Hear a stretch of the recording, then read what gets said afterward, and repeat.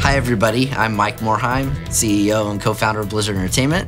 I'm Frank Pearce, Chief Development Officer and co founder of Blizzard Entertainment. Blizzard is celebrating its 25th anniversary, and we feel so grateful to all of our players for supporting us all of these years. We know we wouldn't be able to do what we do, what we've really enjoyed and loved doing all these years without that support, and it really means a lot to us. Good to meet you, man. What'd you think of that? It was awesome. It was great. Yeah, it was kind of kick ass. Yeah. The memory that stands out most to me goes way back to one of our early interactions with our community, and that's the, the midnight launch for World of Warcraft. I'm just gonna walk it, just to show how long it is. When we went into the parking lot for the store where we were hosting, and there was just people everywhere. Line went around the building, line went around the parking lot, and it was truly a sign of things to come in terms of not only how massive our community could be, but how important our community is to us. Are you excited for this expansion or what?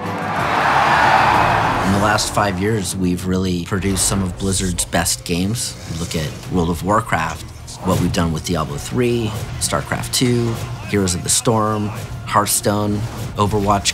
I couldn't be more proud of what our teams have been creating. You know, we certainly believe we, we create great experiences, epic entertainment experiences with the games. But I think that those are also a platform for the community that grows around them. I attended Heroes of the Dorm last year and it was just amazing and it's really cool to see so many people so enthusiastic not about just playing our games now but also viewing the best in the world play our games. Give it up for your heroes of